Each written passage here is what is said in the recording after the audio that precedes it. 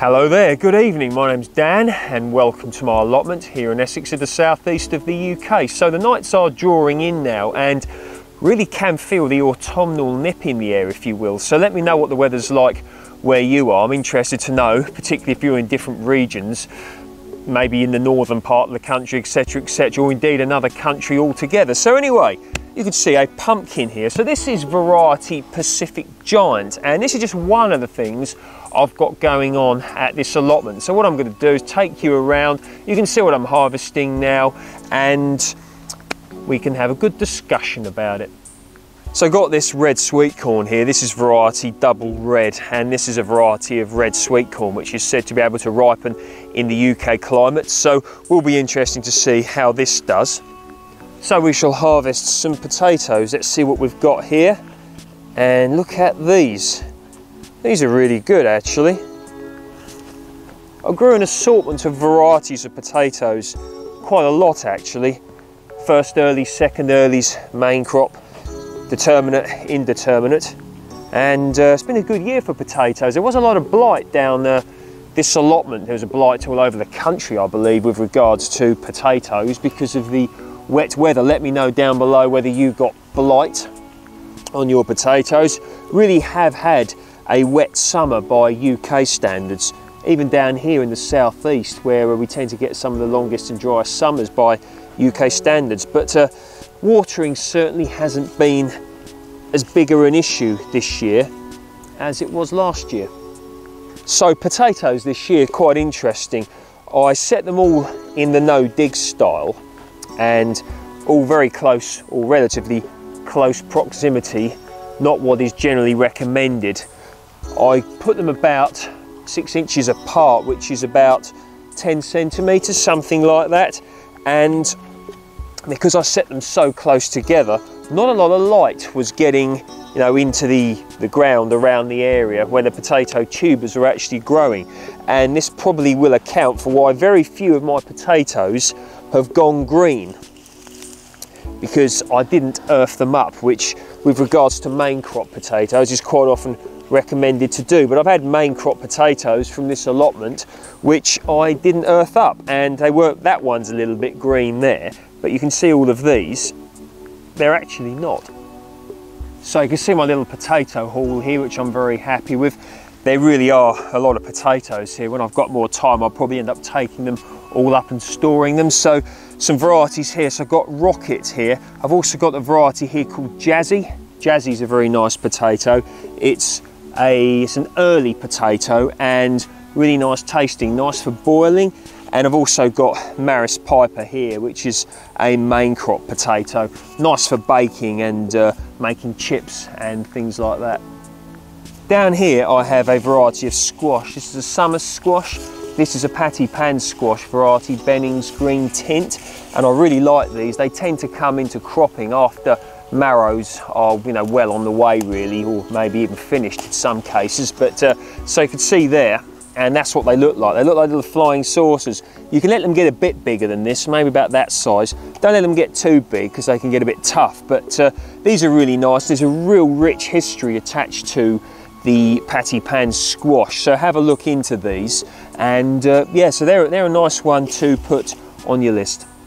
So you want to make sure you're regularly checking your plants. So you can see there's plenty of little squashes on there, which is really nice. You could pick them that size, you know, like that. About two to four inches, something like that. A bit bigger, as I've shown you earlier on. But um, one good thing about patty pan squashes, this variety here, is they're more like marrow or courgette plants, meaning they're not spreading like many squash plants are. So you can actually grow these in a smaller space. So talking about squashes, this is Victor Winter Squash. It'll be a lot more orange than this when it's ready, but it's a really nice squash to grow. It's long keeping. It's a winter squash and they're, they're really good. They get quite big and they're quite ornamental to look at. So it ended up actually growing, the plant ended up here in my sort of little cold frame stroke greenhouse DIY project here, but that's just how it went. But um, these are a good one. I've grown them before, Victor Winter Squash. So in a month or so, maybe a bit less, it'll start to go an orangey colour, a bit like a pumpkin. So got some pumpkin plants here, I've got two of them. And if I remember correctly, but don't quote me on this, I think this is variety Big Max, which I think I purchased the seeds from Lidl's or Lidl. So hopefully these will be ready, you know, late September, October time. So down to this part of the allotment's got quite a bit going on once again. Got plenty of runner beans here. I mean, look at those. They're grown really well. And actually these runner beans here, I set the plants in directly into six, seven month old horse manure, mix of wood chips, and it seems to have yielded some uh, really lovely runner beans. Certainly a nice crop here, nice and straight, so uh, very happy actually uh, with how they turned out. So you can see down here, got an assortment of vegetables growing, got some weeds there. I weeded this the other day. These weeds will be going straight on the compost bin. I compost the majority of weeds. My compost bins are a good size. You want to try and make your compost bins at least a metre square, just about 3.3 feet. That way they'll heat up and hopefully kill the weed seeds in there. So there we are. Now, got Brussels sprouts here. These are variety Evesham Special or Eversham Special. I don't know how you say it exactly. And I've got some golden chard here. So these are frost hardy, which is going to be really handy because we could be getting frosts, you know, within the next few months. So start thinking about your food security.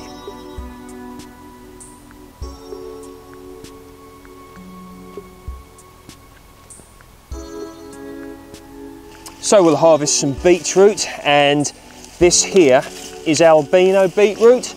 Nice beetroot to grow, lots of history attached to it. I mean, look at that. And beetroot's certainly one of my favourite vegetables to grow.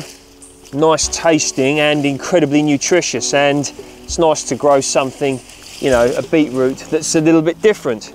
So I've got four here. You want to keep an eye on your beetroot plants at this time of year, or indeed, you know, other times of year as well, because if these proceed to bolt, go to seed, then the root can go a little bit tough. I ate some the other day and uh, they, they were from bolted plants and they were quite tough and chewy. I mean, I can eat them, but uh, the majority of people wouldn't want to put themselves sort of, sort of through that. So certainly uh, be vigilant. You don't want to lose your crops.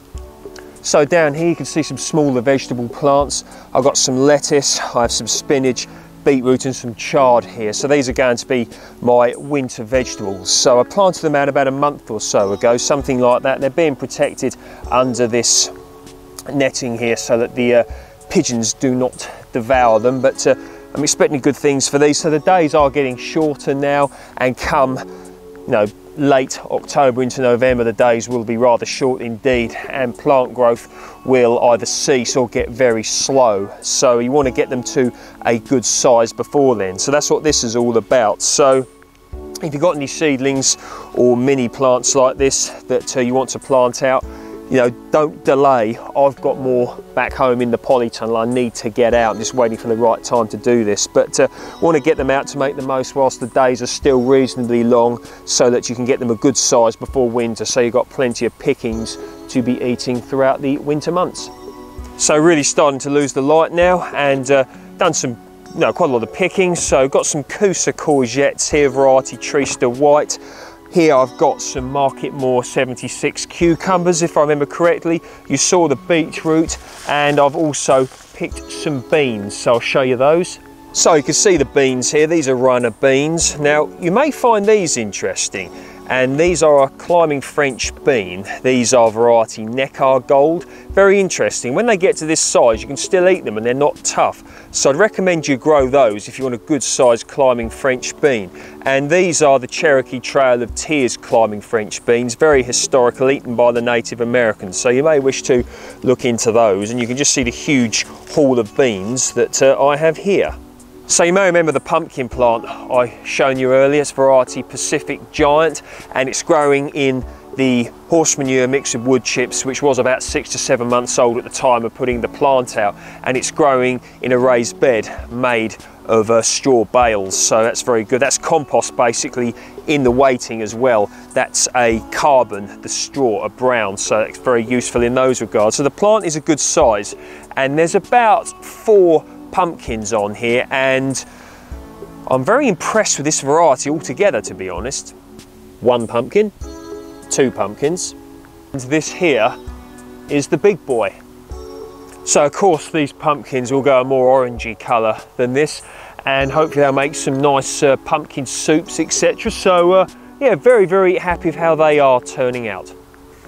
So this here is Uchiki Kuri, otherwise known as onion squash. It's a very nice squash to grow and you can see the squashes don't get too big so you can grow them up a trellis, something like that. So take a look at those. So much of the produce that uh, you've seen me pick this evening is going to my friend Linda up in London, who's a very good cook. So, uh, Linda, I hope you enjoy what you're soon going to be receiving.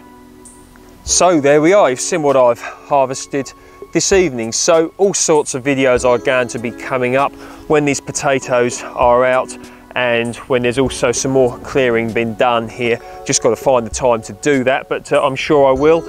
I'm going to be enriching the beds with some more manure, which you can see under the pumpkin plant there. I'll probably end up getting some of this grass here. The majority of what's in this compost bin is grass and I'll be putting that down. Then I'll be putting a membrane over the top and then over the winter period, the worms will drag that in and enrich these soils. So hopefully this soil here, which already is pretty good, will proceed to be a total powerhouse of a growing area by next year. So that's what I'm going to be doing. But anyway, I hope you're enjoying your evening and if you like my work, please feel free to like it and you can also share it with anyone you think may be interested and if you'd like to be notified of any further videos I put up please feel free to subscribe and I shall see you in the next video.